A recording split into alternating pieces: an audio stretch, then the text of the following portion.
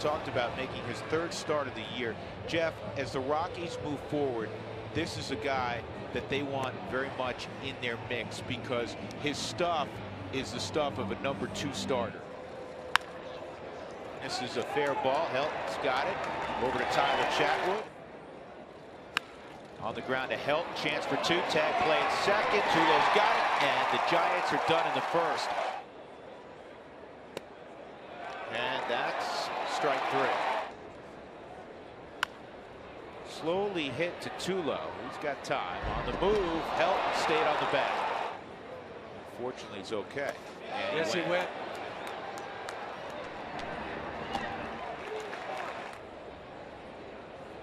Got him on the breaking ball. Good inning. Real good inning. Strike three.